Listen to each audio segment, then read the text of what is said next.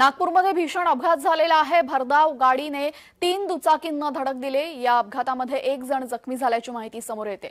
नागपूरमध्ये भरधाव कारने धडक दिलेली आहे. कडेला उभ्या असलेल्या दोन ते तीन दुचाकींना आणि यामध्ये एक जण जखमी झाल्याची माहिती समोर येते. कार चालक महिलेचं नियंत्रण सुटल्याने रस्त्याच्या कडेला उभ्या असलेल्या दुचाकींना जोरदार धडक दिली.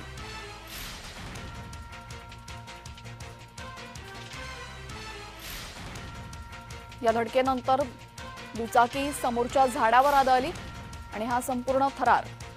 गिट्टी खदान चौकात दुपारच्या सुमारास घडलेला आहे. यात एक जण जखमी झालाय. तर जखमीला उपचारासाठी रुग्णालयात दाखल करण्यात आलंय.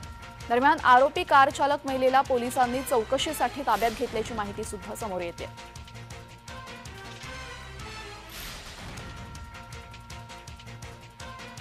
भरधाव गाडीची तीन दुचाकींना धडक एक जण जखमी नागपूरमध्ये हा भीषण अपघात झालेला आहे. कार चालक कार चालक महिलेचं नियंत्रण सुटल्याने हा संपूर्ण अपघात झालेला आहे. आपल्यासोबत आमचे प्रतिनिधी हितेश मेश्राम जोडले गेलेले आहेत. हितेश अधिकची माहिती. हो.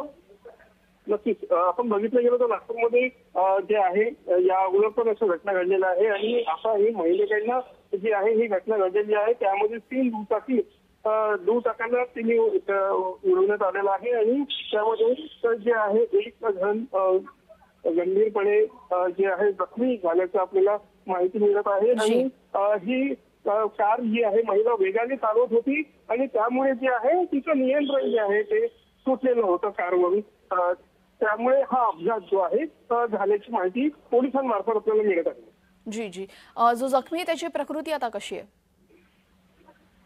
माहिती मिळाल्याप्रमाणे जी जे जखमी आहेत त्यांची प्रकृती जी आहे ती म्हणजे सामान्यपेक्षा थोडी जास्त म्हणजे गंभीर अतिगंभीर नसल्याने गंभीर असल्याची माहिती प्राथमिक माहिती मिळत असताना. जी धन्यवाद हितेश आपण दिलेल्या माहितीबद्दल. भरधाव गाडीने तीन दुचाकींना धडक दिली. यामध्ये एक जण जखमी झालाय.